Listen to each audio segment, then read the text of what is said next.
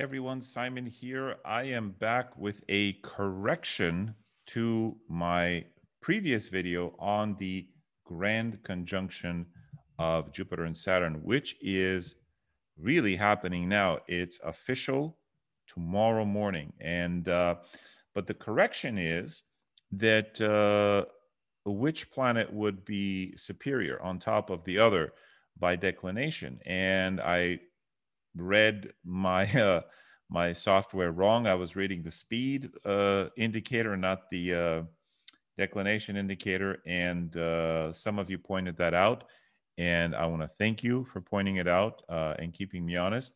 So I'm making this follow up uh, correction video also to show you how they're actually going to look in the sky. So as you can see behind me here, we have the Stellarium app, and I this is available on the web, stellarium-web.org. Um, I hope everyone uses it. It's a wonderful app. You can do all kinds of cool stuff with it, like uh, you can add equatorial grid to see just where the planets are. This red line is the ecliptic line. You can add constellations. Cool, pretty cool, huh? You can add the lines of the constellations and their names. All of that good and jazzy stuff. We're going to leave that out for the moment. Um, and let me move my face here and you can see also you can have a time feature where you can move forward or backwards in time. So for example, uh, if I move this back a little bit, you can see the sky move and there's the sun. Wow. And there's Venus. How cool is that? And you can see visually how the sun is literally it at the heart of the Milky Way galaxy. Now, the other cool thing is you can zoom. So I'm going right on the screen and doing the zoom function. And there are Sun and Mercury. How cool is that? And here you can see all of the Yogataras, the fixed stars in the constellation of Sagittarius. You have Nunki, Kaus Borealis, Kaus Media, uh, a couple of nebulae. Uh, very cool stuff here. So, uh, and nebulae, as we just covered in our uh, medical astrology pro forma, are never good for eyesight. So, uh, this is also a, a classic a dictum in uh, traditional tropical astrology uh, or Western astrology, if you will, that if you have the sun or the moon or significant planets ruling eyesight, like the second ruler of the second house, on a nebula, uh, it can indicate cataracts or even blindness. So, um, but that's not the topic here for today. The topic is to take a look at, I want you to actually see Jupiter and Saturn's position because if I zoom out, all you see is this white dot. But if I zoom in, and the more I zoom in, oh, look at that cool little satellite. Hey, Mr. Satellite, how you doing? Nice. Just driving by little drive by. Um, so look, there they are.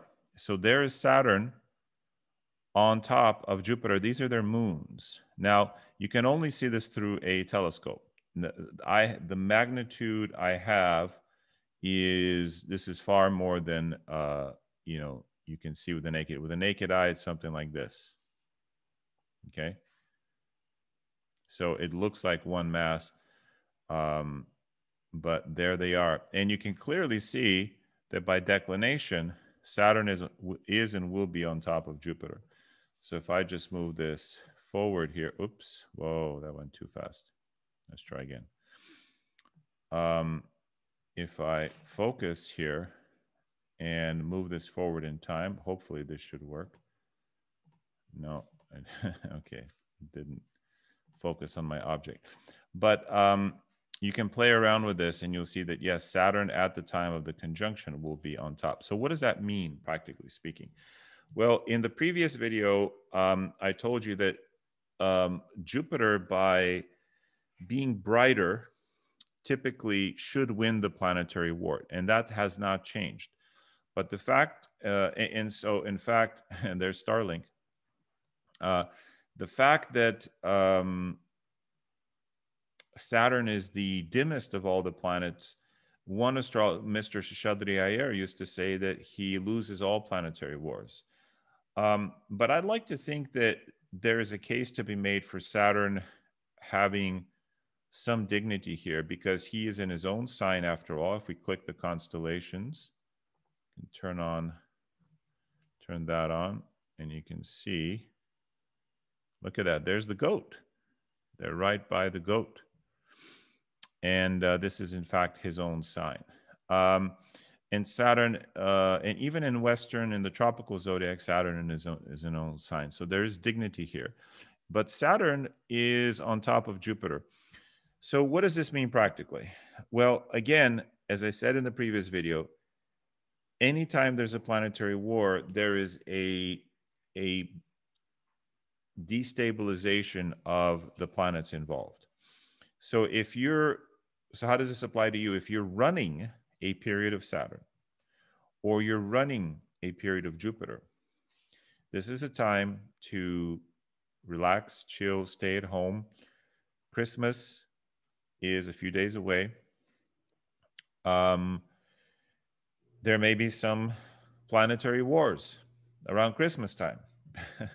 because this will still be in effect all the way until December 30th, I believe.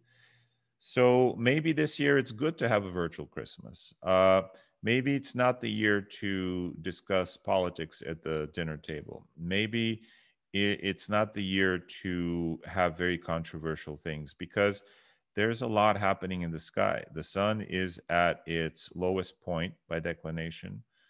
Um, it's literally the solstice, which means the sun standing still. And um, and it's the death of the sun, if you will. This is the death and resurrection of the sun between the 21st and the 25th. So this is a very delicate time where your energies may be low, where you may be torn in two directions, especially if you're running the period of Saturn or Jupiter, because honestly, both of them are going to be destabilized.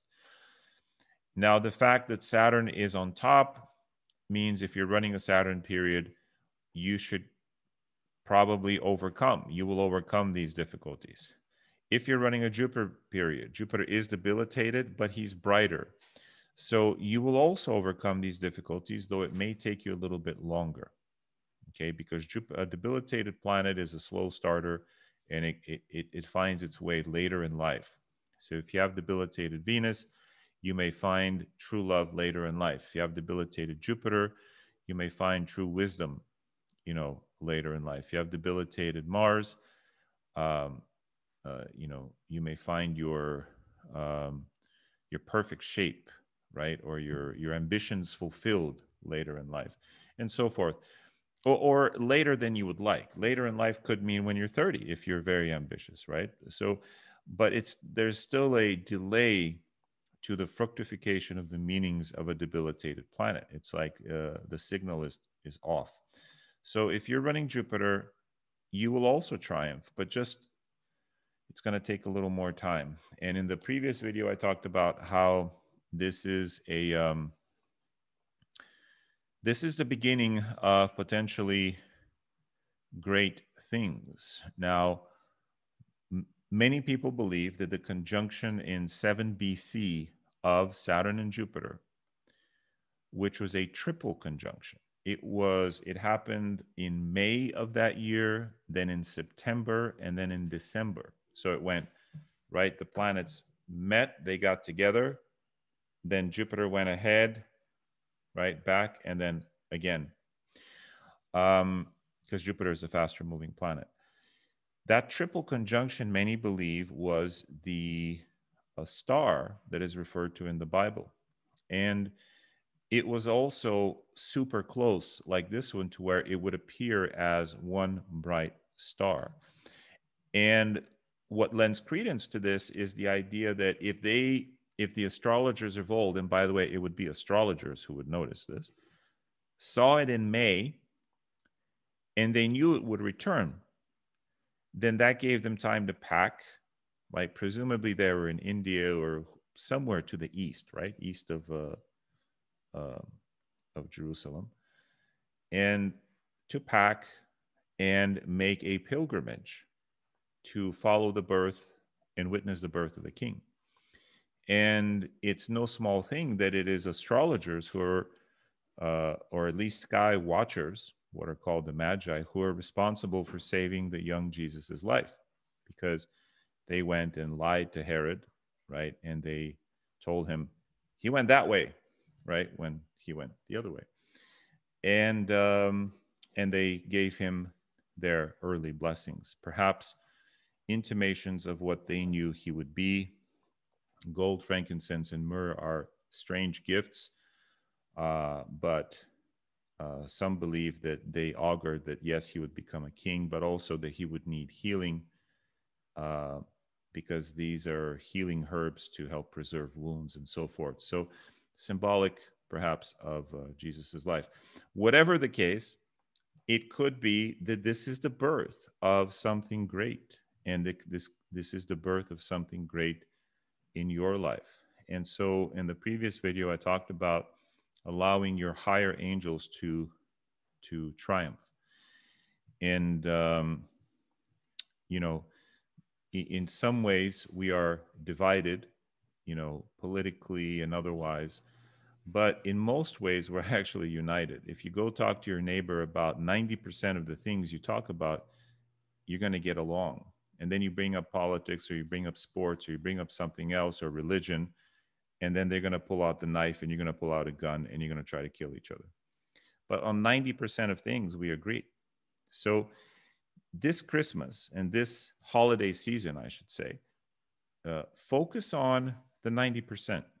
Don't focus on the 10% and work on cultivating your better angels. Because with Saturn winning this planetary war by declination, uh, this could mean that you know our darker nation, uh, darker. See, there's a tiger just came up behind me. That our darker forces will want to come out. But Jupiter winning the planetary war by virtue of being brighter, however, being debilitated, means that ultimately our lighter nature will come out. And so, if this is the emergence of a king or the birth of a king or a queen or a leader, then let's celebrate it as such. And, you know, um, when the Buddha was born, great astrologers also looked at his chart and said this person will be a king, a great king, or a great yogi. And so the question is, who do you want to be? Uh, if Buddha had been a great king, he would have been heralded by his own people, but he would have been hated by the people that he conquered, the people he killed, whose wives he, he separated from their husbands, whose land he took, right? Instead, he chose to be a great mystic and a saint. And so he has united the world, not just in his generation, but in later generations, much as was Christ's journey while on the planet and many, many hundreds and thousands of years after his life. So, this is the decision that you and, and I all have to make. Do we choose our darker nature or do we choose to become kings and conquerors of this world and get a short term benefit, or do we go for the longer term, uh, the more subtle, uh, but ultimately the more satisfying route, which is the route of purifying ourselves during the season, setting our intentions, and um, and watching them flower. Because this nakshatra, this the the the the general place where uh, this conjunction lives is in a very auspicious kind of star that suggests uh, the ability to triumph over obstacles. All right, um, that's it. That's all all out of me today. Thank you again for pointing out the uh, mild error there in uh, in in my previous video, and I look forward to seeing you in the next one. All right, namaste, everyone.